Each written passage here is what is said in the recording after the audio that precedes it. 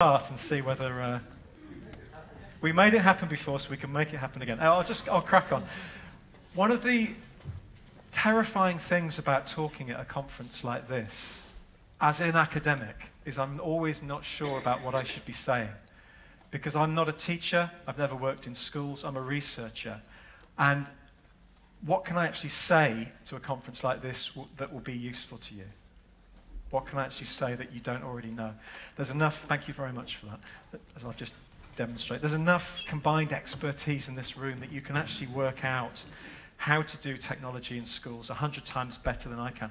So what I thought I'd try and do today that could be genuinely useful for you is just perhaps start off a conversation that we can carry on for the next two days.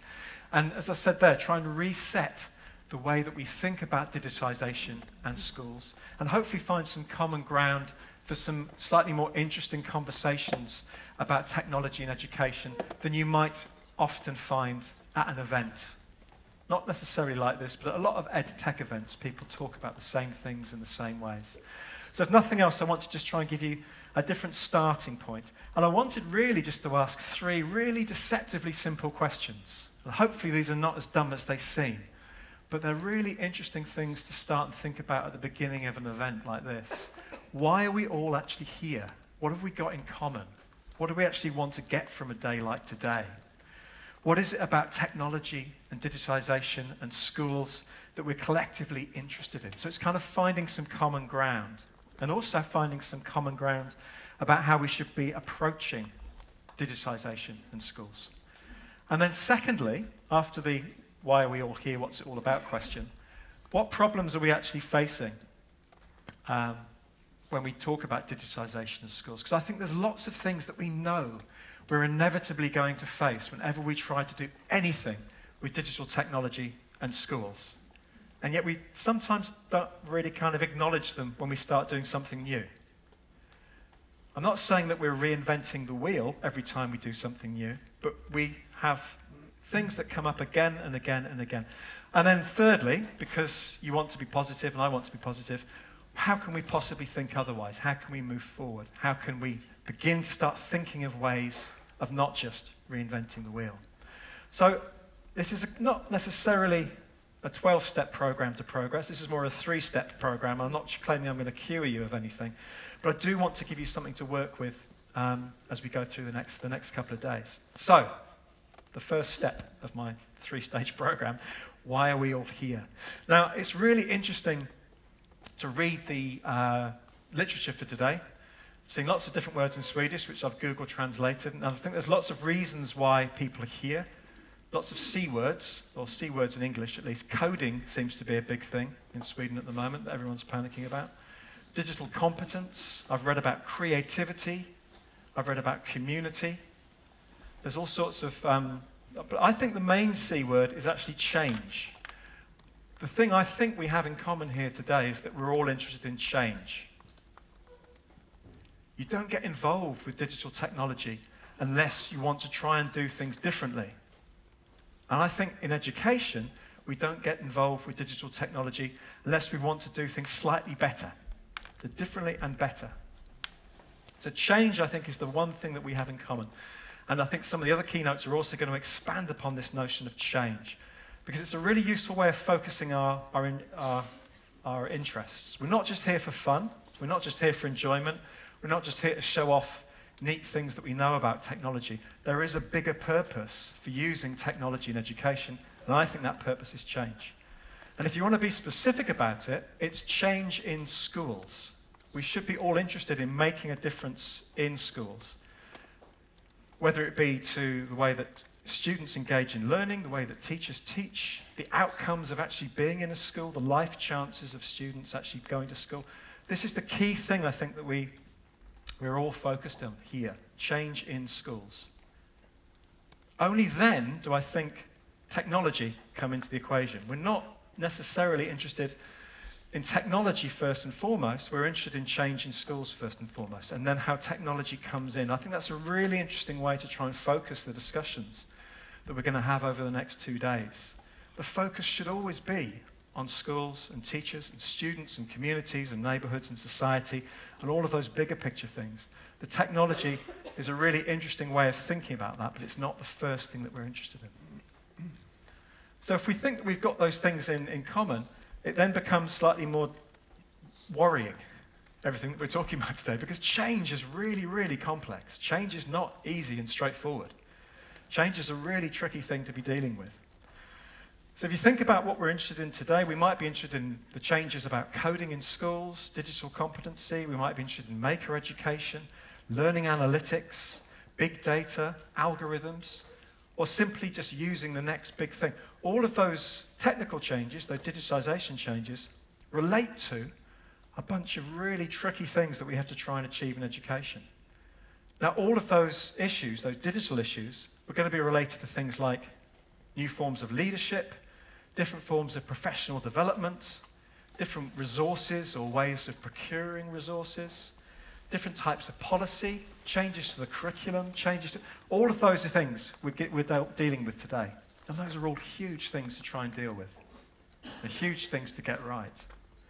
And on top of those things, which are all quite tangible, and we can try and at least try and affect them, there's a whole bunch of other things which we're also trying to change, which is far, far more tricky. So we're also talking about different practices, or changing practices of students and changing practices of, of teachers. We're talking about changing the culture of schools and changing the culture of school communities. And we're also talking about changes in people's dispositions and sensibilities. Now, those are huge things. You know, those are massive things to try and, try and adjust. But I think that's what we're all here to try and do over the next couple of days. So the ultimate question, given all of that, then, is what the hell can we do? There are no, just, these are such big questions.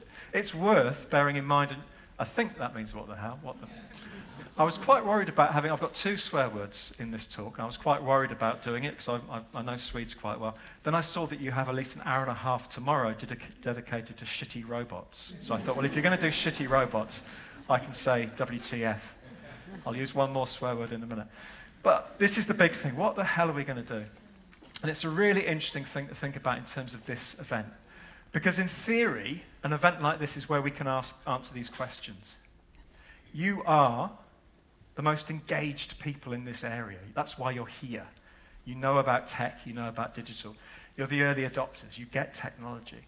So, in, in, an ideal world, you literally just come to an event like this, you get some inspiration, you talk to people, you maybe get some solutions and some answers, and then you go back to your municipalities and your schools, and then you, you do great things. But we know that it's not as simple as that. A lot of people who are a lot smarter than us have been doing this for the past 40 years in terms of technology and schools. And as you know, if you go into any school in 2017, things have not turned out perhaps as well as we've been thinking over the last 40 years. So if it was that easy, it would have already happened and we wouldn't have to come in. So it's really good to come to an event today with our eyes open, that we've been trying to do this for 40 years now. And if things have changed, they would have changed already. That's not to say that we should give up or we should stop being ambitious and hopeful, but I think we just need to be a bit more mature or adult about technology and education. Now, I love the fact that it's nearly 40 years since computers first started coming into schools most of what we're trying to do today is not necessarily the first time we've tried to do it. So I think it's 39 years since the ABC 80. Um, I, was just learning a minute ago about Compis. We've been trying to have coding in schools for 35 years, 36 years. A lot of this is not the first time we've tried it. So if computers in schools is nearly 40 years old, if it was a person, it would be thinking about have, buying a house, settling down, having kids, getting a mortgage, maybe thinking about a pension. It would be doing some quite boring things. If computers in schools as a person, it would have definitely moved on from the very childlike phase of, oh, isn't everything wonderful? Everything's fantastic. Let's play or let's be. That's what you'd expect a kid to be like.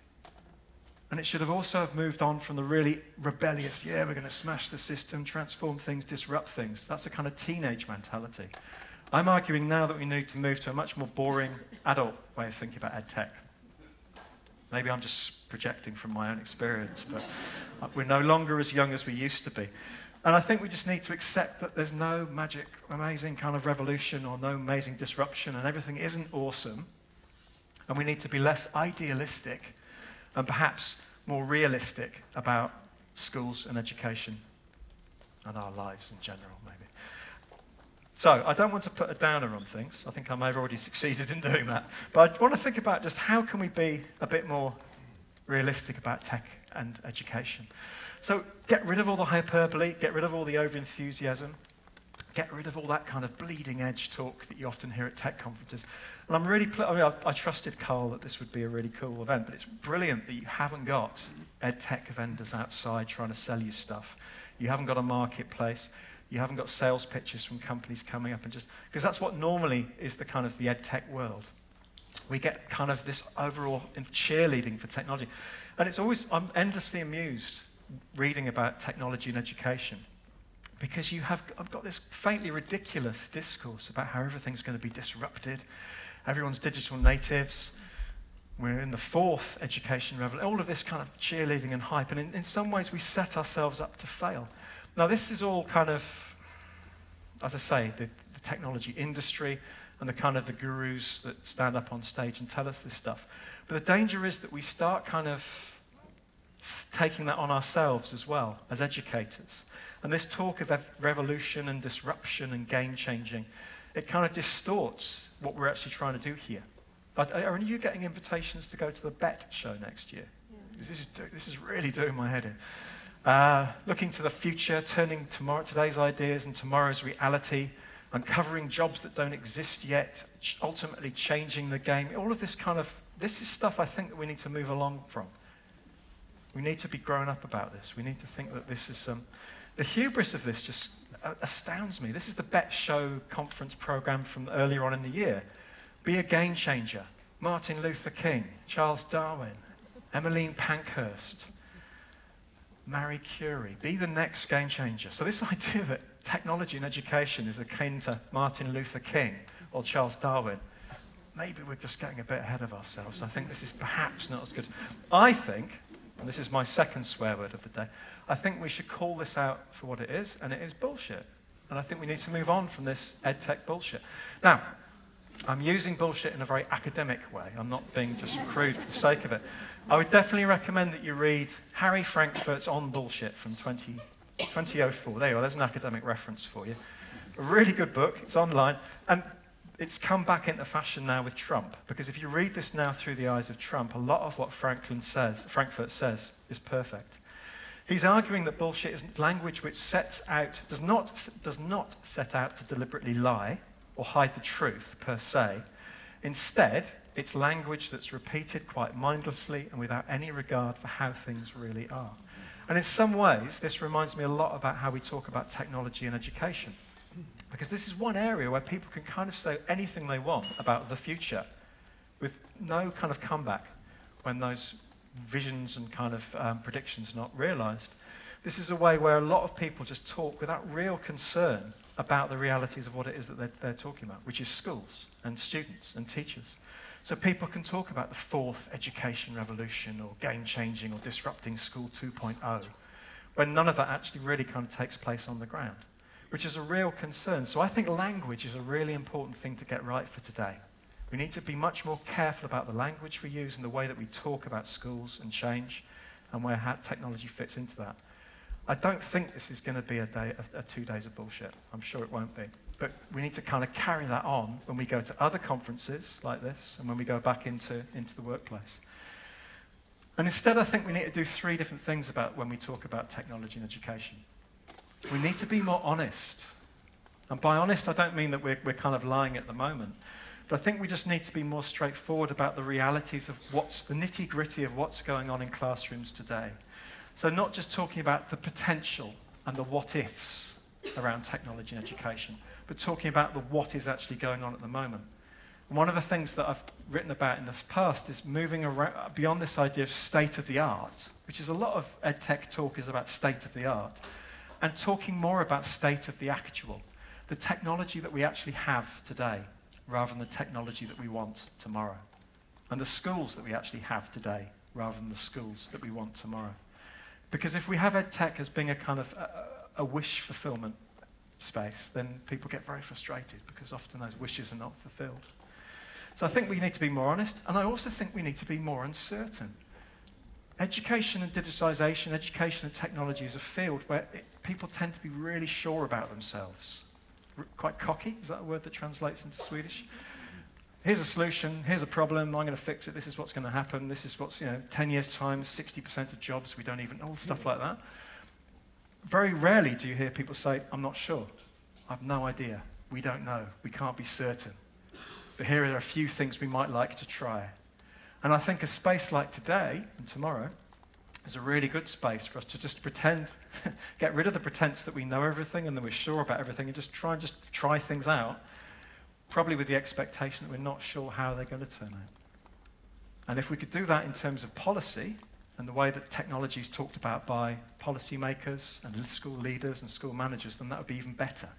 But this is a space I think that needs to be a lot more than just empty promises and inflated expectations.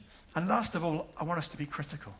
And by this, I don't mean um, anti technology, but I do think we can be constructively critical about the way that digital, digitalization is taking place in education systems. I think we need to ask and try and think up really difficult questions to ask about the technology in education. My favorite difficult question is what is new here? Which is a really interesting question to ask of anything in education technology. What is new here? I think we need to make comparisons with our previous experiences. It's really important to have a sense of history, ABC 80, COMPIS. And it's also really interesting to look at the bigger picture, to look at the problems and also the unintended consequences of using technology in, a, in schools. So I think I want us to be skeptical. I don't want us to be cynical or anti technology. We're not Luddites, but I think we could be more skeptical.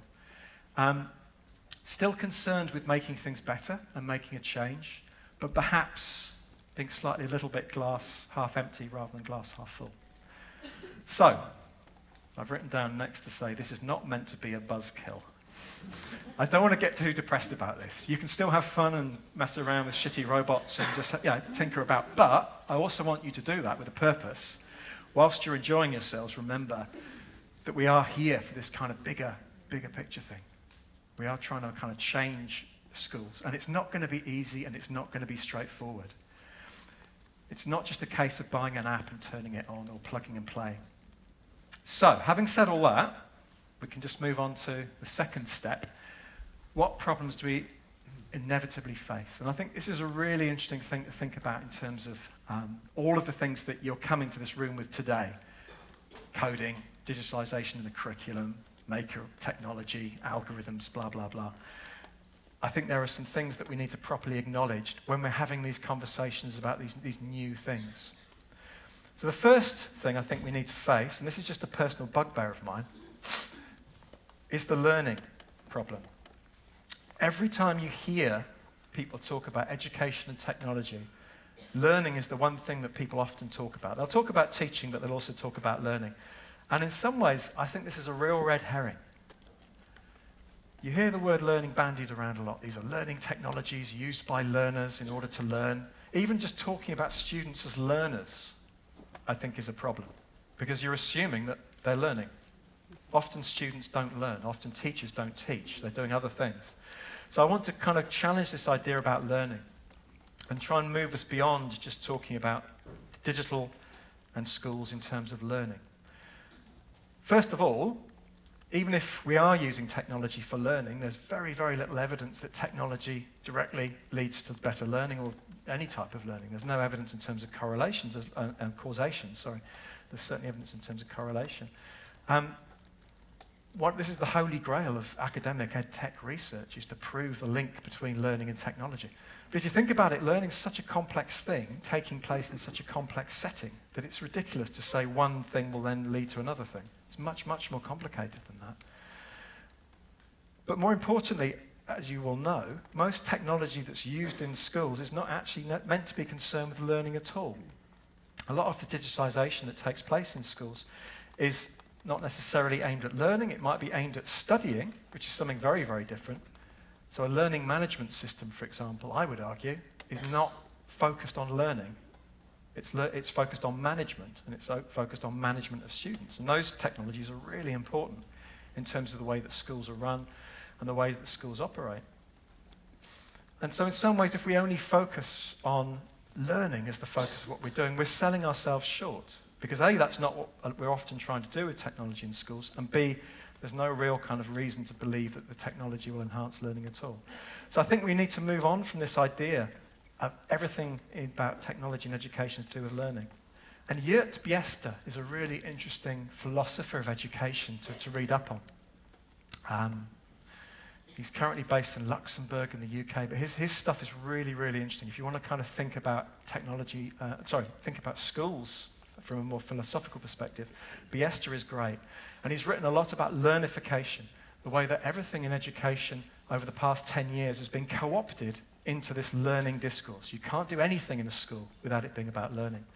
And he argues that this translation of everything that we talk about in education in terms of learning and learners is really restrictive because it makes us, distracts us from the other issues in schools, which is still really, really important. And as you know, working in schools, schools are based around all sorts of things to do with society and culture and economy and politics. So, as well as trying to get kids to learn things, we're also trying to give kids skills, dispositions that allow them to do something in the world. It could be getting a job, it could be civically engaged, it could be fighting uh, kind of activist battles, but we're trying to give kids skills to do things. He also talks about socialization, the idea that schools have the socializing function of fitting students into uh, particular social, cultural, or political orders in society. And he also talks about subjectification. A lot about what we're trying to do in schools is to give students a sense of who they are in the world. Now, those are all really important things which also fit into what we're trying to do with digital technologies. So I think some of the key questions that we're going to need to ask today are not necessarily what works and why with technology, but why are we doing this? What do we actually want to achieve with this use of technology? Why are you trying to teach students about the moral implications of fake news or social media and, and in the social sciences? Why are we teaching students to program and to code? It's not all about learning. There are other things that we need to think about as well. So, that's number one. The uh, second thing is an obvious thing the problems that we face. And the problem that we face is that technology doesn't solve anything at all. I don't think any teacher or any, anyone working in education really believes that technology solves stuff. But we're told all the time that technology does solve stuff. Now, as Evgeny Morozov tells us, this isn't just an education problem. The way that we're conditioned to think about technology now in education, uh, sorry, in society, is a, as a solution.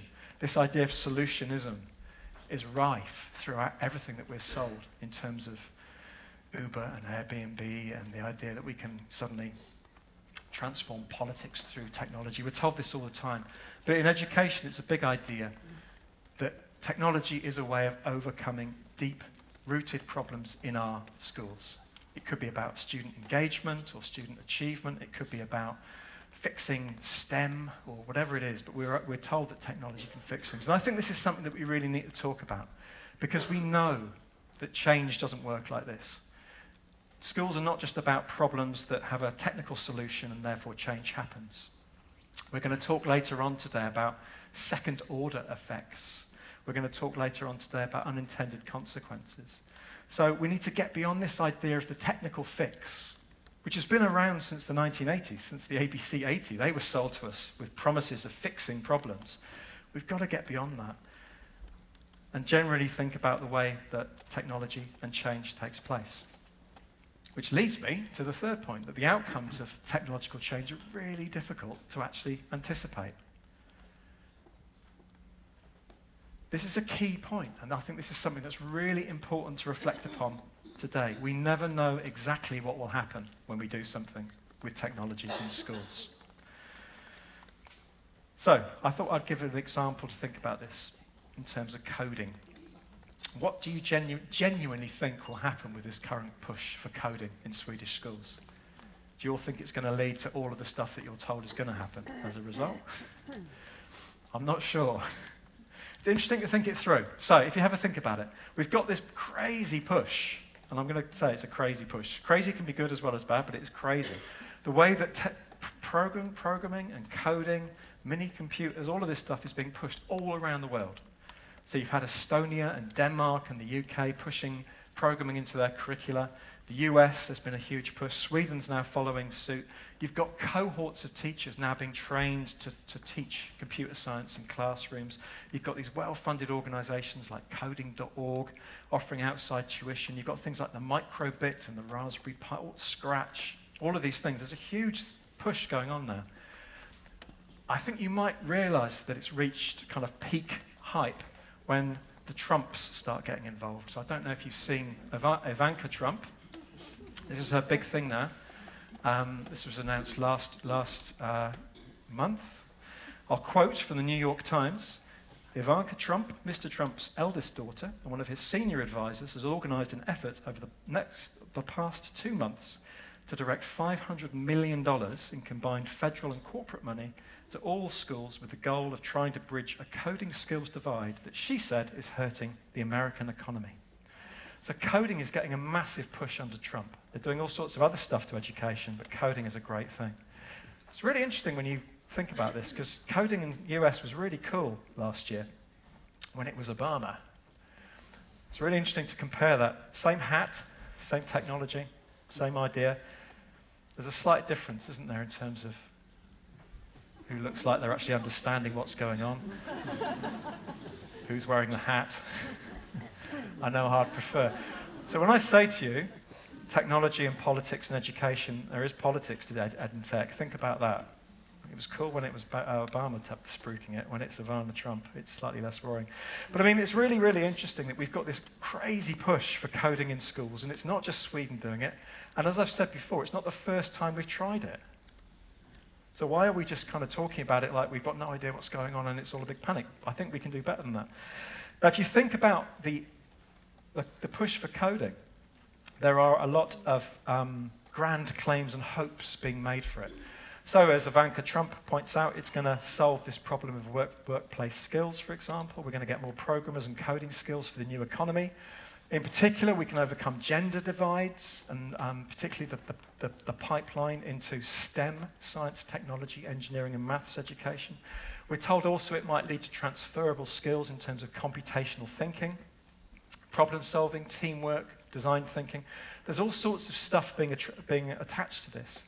And as you know, from other countries, we've got some initial good news. More students are now taking coding. There's been reports that students are more interested in coding, they're more aware of the key concepts, and they're more knowledgeable and excited. That's what we're told. But more crucially, it's really interesting to see the emerging evidence, which is slightly less um, solutionism. So, with colleagues in um, Gothenburg's GULIT, the uh, Learning and Information Technology Group, we wrote a blog post about this in May, which is, have a look, read through it if you're interested in the emerging evidence about coding in schools. But the way it's turning out is to be a lot more complicated than we would have expected. So, for example, the IT industry are increasingly unhappy in the US and the UK about the low level forms of coding that are actually taking place in schools. They re- refer to it as um, drag and drop coding and coding that is nowhere near the type of coding that the IT industry actually want people to learn.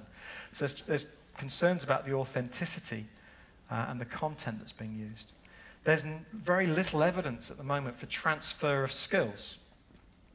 This idea that by learning to code, you'll learn these other skills. So there's a really interesting randomized controlled trial that was done recently of the code clubs in the UK that found out that a year's worth of code clubs, kids going after school clubs and learning to code, led to um, significant improvements in their competency to code, which is kind of what you'd expect. No impact at all on computational thinking or other broader learning skills. Why would you expect there to be otherwise? But it's really interesting to actually see, oh, and then people start backtracking, saying, well, you know, we never really said it would lead to computational thinking anyway, and what does computational thinking mean? And it all starts to unravel before your eyes. There's also concerns about the nature of the teaching um, in schools. So, um, emerging evidence that narrowly technical and procedural, that students are learning to code rather than coding to learn, which is a really interesting kind of uh, nuance that often gets, gets missed out. Evidence that teachers are struggling to actually develop the curriculum and deliver the curriculum. So I think in the UK, 12 months after their curriculum was introduced, 40% of teachers, primary school teachers, reported not having had adequate professional development, and one third still reported they lacked the ability to teach the new subject matter. And the most concerning thing, perhaps, from the UK's perspective, is that the latest figures show that there's no increase in students um, taking computer science, going on to further study at a higher level. And the percentage of girls is slightly falling, which is counterintuitive to what you'd, you've been told. Now, I'm not saying that will happen in Sweden. I'm not saying that will happen elsewhere, and it may be different in a year's time in the UK. But it's clearly the change associated with millions of pounds, lots of technology, lots of curriculum, lots of professional development, is not leading to all the stuff that we told it was. And the conclusion for this blog um, was governments around the world are finding that rewriting the national curriculum documents is the easy part. Achieving genuine systematic change, systemic change, requires sustained resourcing commitments over long periods of time. It's really tricky to, to achieve.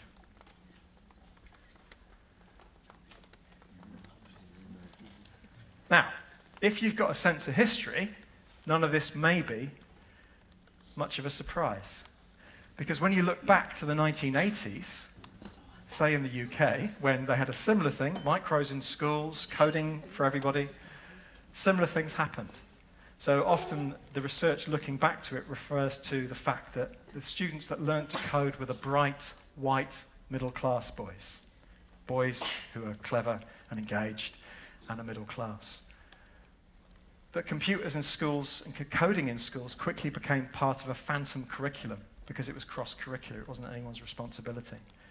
And that learning about BASIC was the main focus, BASIC being the programming language, rather than learning with BASIC. So a lot of the stuff that's coming out of the UK now is what was found in the 1980s when we, when we tried this beforehand, which is a really interesting way of thinking about it. But also, if you think about what happened in the 1980s with programming in schools, it suggests that we shouldn't perhaps give up on coding this time around. Because the 1980s coding in, in schools was really interesting for three different reasons. Although it was mainly bright, white, middle class boys, some of those boys went on to then become games developers, um, software programmers, really, really innovative engineers in the world of computer science. And they directly say, because I did a computer in the uh, BBC Micro in the 1980s, that's why I got into programming. But the most interesting thing whenever you talk to techie people about the, the, the computers in schools is that the development of the BBC Micro, that's the British version of the um, ABC-80, led to the development of this little chip called the ARM chip. So the, the, the developers that made the, the school's computer made a chip to make it work. This chip is now in every smartphone in the world. It's one of the most important microchips in the whole of the, whole of the past 20 years and came from that push to get computers into British schools. Now, if you'd said at the beginning the outcome of this push will be the development of this amazing chip, no one would have believed you at all. But it's a completely kind of unintended consequence of technology in schools. I would have hated to have not have achieved the development of that chip. So I would never say they shouldn't have done it in the 80s. On the other hand, you're not going to achieve exactly what you think you're going to achieve. The difference in the 1980s was that we weren't hyping coding in schools up to the skies with these massive expectations, that it was very tentative and it was very kind of open ended. So it's really, really tricky to actually kind of think about technological change. And one of the things I think that comes out from that example about coding and all the other history of ed tech is this idea about context specific nature of change and the iterative nature of change. So we know that technologies in education are shaped by the context that they're in. It doesn't make any sense to talk about the iPad in the classroom because the iPad in my school is going to be very different to the iPad in your school because of the school, because of the teachers, because of the community, because of the types of things that you're trying to do with it. Technologies are shaped by the context in which they're in. And if you read Larry Cuban, who's a really interesting historian of technology, he talks about this in terms of the situationally constrained nature of any technology in schools. And he talks about how the grammar of schooling shapes how the technologies are used. And by grammar of schooling, he means things like time, space, curriculum, assessment, classroom factors. And he came up with this really memorable phrase computers meet classroom, classroom wins. The way that classrooms kind of shape what goes on with technology in very context specific ways. And the other thing to think about in terms of change is this idea that change is not linear. You don't introduce a technology and then suddenly change happens. I quite like this idea about remediation, the idea that technologies change iteratively. They'll change some practices, they'll change some ways of doing things, and some things will stay the same as well. And so, this idea of the ghosts of old ways of doing things living on in the new technologies that we have is a really interesting way to think about change in schools. The fact that we have new technologies designed to do the things that we want to do and the way that we're used to doing things gives an idea about why the technologies that are used in schools often tend to kind of repeat the same old things. So if you think about interactive whiteboards, for example, it's really interesting to think about the hype about interactive whiteboards. And they were going to change classrooms, everyone was going to be innovative and collaborative, and kids were going to take charge of the classroom, and it would lead to this social, cultural way of doing things that was very, very different to a normal classroom. And then eventually, everyone got very dispirited and said, well, they're just dumb boards that teachers just use as a kind of interactive blackboard remediation. The old technology of the blackboard is fitting with the new technology and the practice. What's interesting now is if you go into schools now, once people have forgotten about whiteboards, changes have happened. Teachers and students and classes are using these technologies in slightly different ways. So we're going into primary schools now, and we're seeing that student primary school kids are watching huge amounts of instructional videos and TV programs and films, way, way, way more than they would have done even 10 years ago. Because the whiteboards are in the classrooms, the teachers have got comfortable with them, and all of a sudden, film is becoming a really important part of the way that the classes take place. So all that stuff about education technology from 40, 50 years ago, never really kind of taking hold in the schools, is suddenly taking place. But because of this technology that was introduced 20 years ago. So we can't predict change, and we can't also say that change is definitely going to happen straight away. And two other things very, very quickly before I get on to what can we do about this. I've always ignored leadership whenever I've done any research on technology in schools. It always seems to me the least important part of, of schools is leadership. Having done three years' work in schools now, looking at how technology is used, I'm convinced leadership is the most important thing. So I'm going to do a complete volte-face about that. It's really important to talk about leadership, I think. We tend to just overlook leaders as a key part of um, the equation with technology and education. None of this technology use takes place by itself. And, but leadership is an issue that's really, really rarely called out in discussions of schools and technology. Now, this is a complete no blame statement. I would hate to be a school leader. It's one of the most difficult things in the world to do. There's so much stuff, so many balls in the air that people are trying to juggle. And the leadership of school technology is a really complex thing. You've got how their technology is being used in the classroom, you've got the teacher education, the professional development, you've got maintaining the infrastructure, you've got um, working out the procurement of the technology, you've got all of the various legal and ethical issues that are associated with using technology in schools. It's a really, really difficult thing to do. And you find at the moment that leadership of technology in schools often, from a top-down perspective, is just principals and deputy principals just trying to firefight, keep things going, try and just keep the show on the road. And that where technology leadership is taking place, it's very kind of bottom up from individuals like yourselves that go in and do something and try and get people interested. And it's not very kind of coordinated, but also it's not very sustained and systematic. So you find pockets of good practice not mm. spreading out throughout a school. And I think leadership is a really, really important thing to talk about never really gets talked about very much in technology. And then the last problem that I think we face with all of this, and this is the big elephant in the room, that at the end of the day, this is not the most important thing in the world. It's not even the most important thing in, in none of this really matters. If I went into a school tomorrow and said to the teachers, what's the most important problem that you're facing? None of them are going to say technology. I bet you if I went into a school and talked to the IT technicians and said, what's the most important problem that you face? None of them are going to say the technology. They'll say things like time, money, assessment, curriculum. All of these things are really, really important. The elephant in the room with a lot of this stuff is technology use in education does not have to be very good. Good enough is often enough. And so a lot of people are just trying to kind of get by, technology and digitalization is still not mission critical to schools doing things, and therefore schools are just trying to kind of do stuff around the edges. In the meantime, schools are really concerned with making sure that kids come to school, get examination results, go into jobs, that there are still, you know, roofs on the schools. So all of these things are much, much more important. And so, if nothing else, that can make education technology seem to be full of hubris. so we need to try and work some ways out forward from all of this. This might all seem a bit depressing and a bit disheartening, but I hope if we can talk about technology in these ways, it actually is a bit liberating because it frees us up as being the techie people from having all the answers and all the solutions and having this huge weight of expectation with, come on then, when are you going to transform the school? When are you going to make things better? Hopefully, it kind of allows us to disengage from the hype and actually think a little bit more carefully about what we're going to do. So I'm really interested to think about what positives can we take from being more honest and realistic and critical and circumspect about technology and education. What can we actually do with all of this?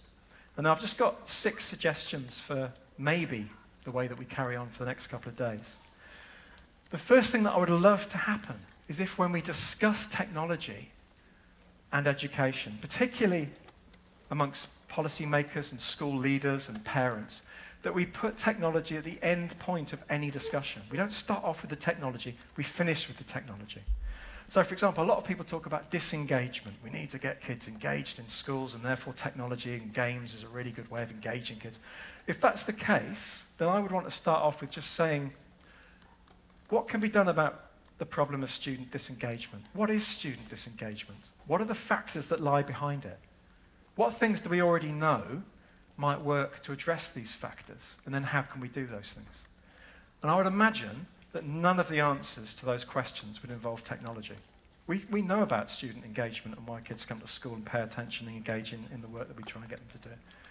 And we know a lot about the factors and the complexities behind it. So any disengagement strategy should have that conversation first, definitely. And seriously as well. And only at that point might we say, how can technology support us in doing all those? So we're already not saying technology is going to fix disengagement. Technology comes in fifth as a way of doing stuff that we already know works and addressing factors that we already know are complex. And then you've got a completely different spin on the way technology is used. And then there's a final question how might doing this with technology have other consequences? And there are always other consequences. Now, if we can put technology at the end of the conversation in education rather than the beginning, I think that's a really powerful way of actually um, talking about things like coding and flipped classrooms and everything else that people are trying to get us to talk about. And I think, secondly, we need to be a lot clearer about the reasons for using technology in education and the language for using technology in education. So I've already talked about this idea about getting away from the hype of ed tech. I would love for somebody today, you may have already done this, but come up with a buzzword bingo card. It's also called bullshit bingo. 16 things or 20 things, 25 things that you don't want to hear. What might they be? Gamification, personalized learning, flipped, digital native. You can see the things that we need to move away from words like that and actually be more realistic about what we actually are talking about. So rather than talking about empowering learners, rather than talking about disrupting classrooms. What is it that we actually want to do? What are we trying to do here? The third thing I think is about history. I want us to talk about history. I want to talk about where we've been before. And in particular, acknowledging things that failed as well as worked. It's been 40 years, as I said, since this computer here. That gives us 40 years of being able to talk about what we know happened. And it would be really, really interesting to celebrate our failures, to have a bit more of a shared understanding about how technology in school plays out. And whether we're just setting ourselves up to repeat those things again. And we're thinking about the long term effects of this technology in a much, much more nuanced way. So I was really interested to see is it Helsingborg has got this museum of failure? It's a really interesting place if you want to go there. I would hope it's stuffed full of ed tech. I would hope it's full of interactive whiteboards and all the technologies that we've had over the past uh, 40 years. But it's a really interesting thing to try and do. So whenever my, I've got teachers now that want to do teacher research with me and master's theses and PhD theses, I'm trying to encourage teachers to do autopsies of ed tech, to go back to the scene of the crime from 10, 20 years ago, their technology use, and try and work out what actually happened. How did things play out and why?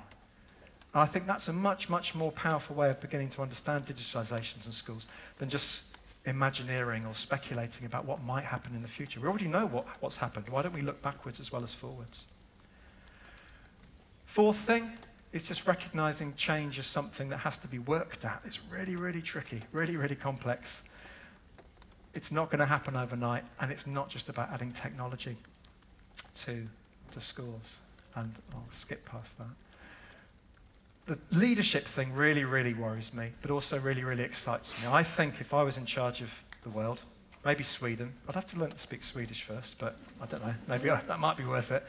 If I was in charge of Sweden, I would really put all my money into establishing dynamic, democratic leadership around EdTech. I think we should be spending a lot of money in employing new forms of leaders in schools who are not just teachers that are suddenly saddled with dealing with technology, but a kind of hybrid technology experts and also teachers. People that really understand the technology, can also tinker around the place, but also have a really deep understanding of education. We need a kind of new cadre of professionals. I also think we should massively invest in upskill in IT technicians, rather than seeing them as people that come in and fix the technology, like I was using Carl earlier. IT technicians, I think, could be really high status professionals that really kind of drive what goes on in schools, being kind of chief information officers as well as being kind of um, a real force for change. And also this idea of allowing school communities to have much more of a say in the technology that gets used in schools, really getting students, teachers, parents, local employers, everyone in a school community to have more of a say. And the last thing as well is this idea about just stop taking education technology too seriously. I think we just need to get a massive dose of perspective about this. We're not going to solve the world. We're not Martin Luther King. This list is just, I think, offensive. We're not going to change any games. But on the other hand, we can have slightly more of a, a kind of more inquisitive, a more modest approach to trying to make change with technology and just seeing what happens, being more tentative about things not pretending that we've got the solutions to everything. so I'm not going to leave you with any answers. I'm not going to leave you with any solutions. One of my things is that I think we just need to talk about, have proper conversations about technology and education. One of the things that would be great was if a, a, conference like Maker Days wasn't just seen to be a cool technology and education conference, but it was just seen to be a cool conference that you had lots of people coming here that couldn't care less about technology, as well as just the teachers that do care about technology, because then you'd have some really powerful conversations. And on the flip side, it would be really, really powerful if these conversations that we're going to have over the next two days took place in other edtech, uh, so other education conferences, other education professional development that has nothing to do with technology at all. We're kind of operating in silos at the moment, where we have these conversations here, and then in education conferences we don't. So I think there's some really interesting conversations that we need to get going, some really interesting language that we need to be using. And last of all, I just think there's some really interesting questions that we need to start asking. So I wanted to say at the beginning, we need to move away from this idea of what works and why, because that's the question that people normally have at a conference like this. That's the criticism I always get about every talk I ever give. You've not told us what works and why. I've got no idea what works and why. You know what works and why. But I think you can find out what works and why in your own local context by asking better questions. So, this question about what is new here is a really interesting thing to ask because it first of all focuses you on what continuities there are with technology use, but also where there might be slight discontinuities. And it focuses on everything from education practices, school processes, school structures, relationships between people and also gets us into this idea of remediation. Where are we repeating things that have happened before, and how are they slightly changing? And where might this take us in the next iteration and the next iteration? And it also gives us this sense of history. Where have we actually been before that might remind us about what we can learn from this time around? And if the answer to what is new here is nothing, that's not necessarily a problem at all.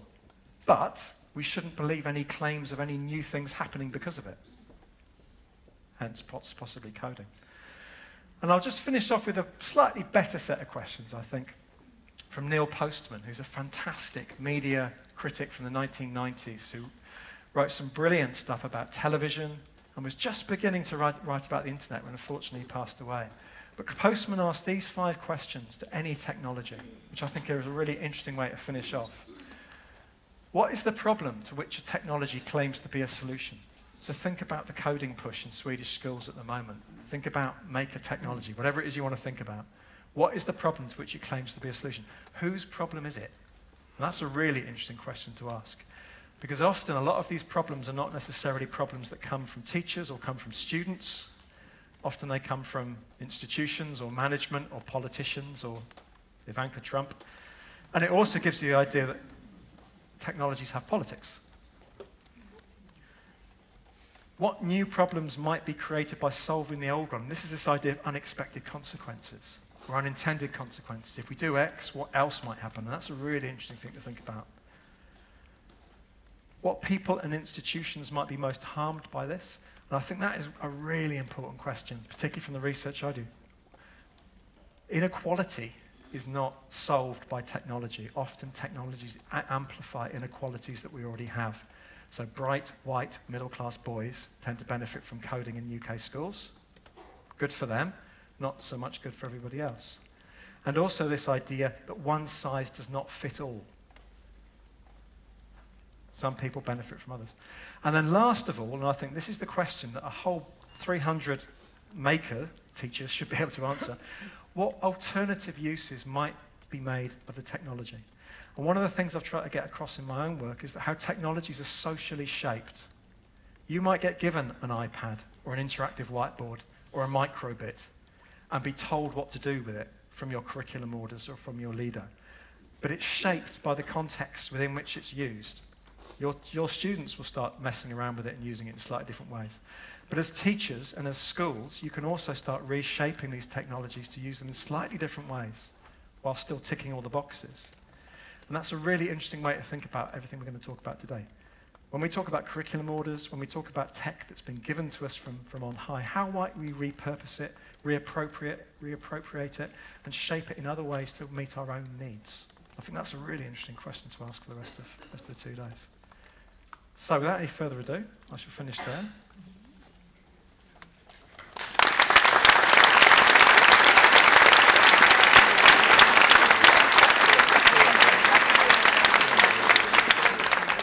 Thank you so much. Uh, I have a couple of questions before I let, let you go. Thank you so much for That's a right. really, really nice I must speech. apologise. I, I only flew in from Australia last uh, yesterday.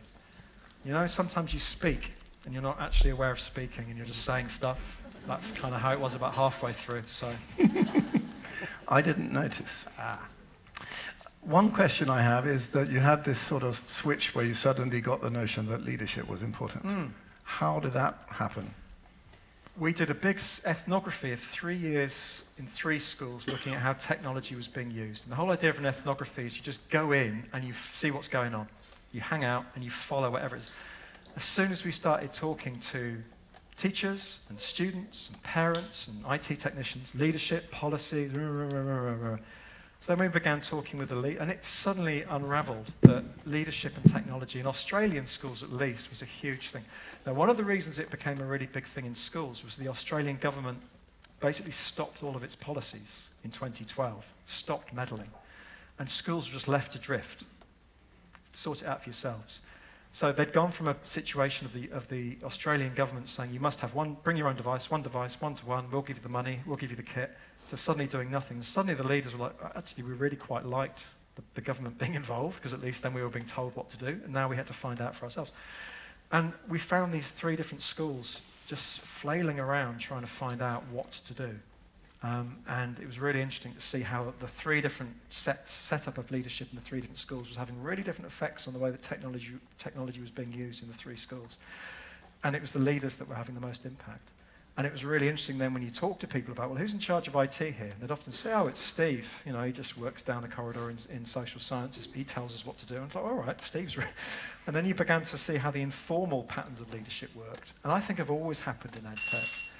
But that also explained why technology wasn't being used in other parts of the schools quite so well. And, I think, and then we suddenly started looking at policies and the way that leaders were being trained, and there's a huge vacuum you're trained to be a leader and you're told to lead, but you're never really trained to lead technology, which is a very different thing to other aspects of education.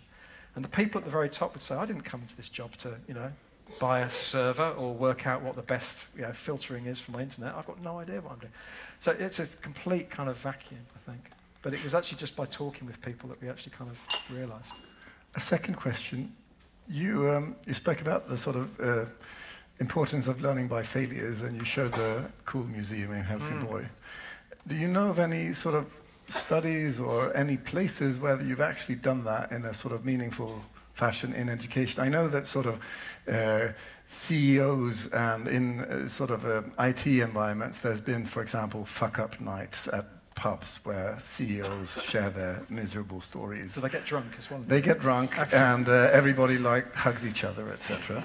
and it's really nice. Uh, it's supposedly really nice, at least. That's something to do for tonight. After yeah, you've been to Learn Education, all yeah. get drunk and tell each and other tell how each other up. about failures. Yeah, yeah, yeah. yeah. I'm all up for it. Uh, no, in, in, in, an instance, in, in, in academia, history of education is probably the most marginalized bit. of Like, nobody's interested in hearing about history of education. And in technology, even more so. Mm. And I think one of the things we've got in this field is it's, it's forward looking. As I said, we're trying to make mm. things better. People are not interested in what's happened and what didn't work. They're only interested in what will work. So this idea of always being future focused and looking five years, we need to get around that. And in our field, I've done a little bit of research where I've gone back to people I went back to all of the politicians and tech and industry people that were involved in the 1980s push for, for computers in schools, and I talked to them about it. All of them were like, why on earth do you want to talk to me about this? Why are you interested in this?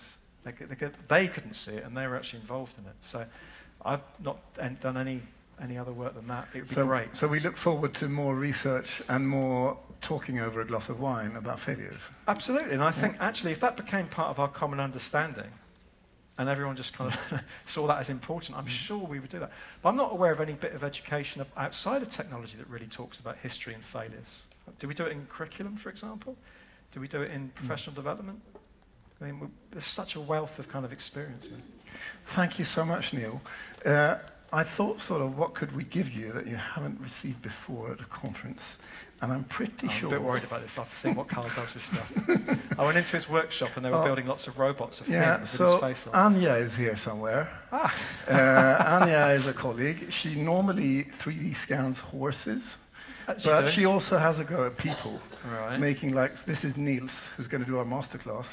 So we thought it would be nice to have a small Neil as well. What are you going to do with it? Well, we're going to give it to you. Obviously. The, the, the, the physical Neil Selwyn. Thank sort you. Of in a small version. Yeah, yeah, but yeah. Anya's over there, ready with a scanner. Oh, so with that, thank you so much. Thank you very much. Uh,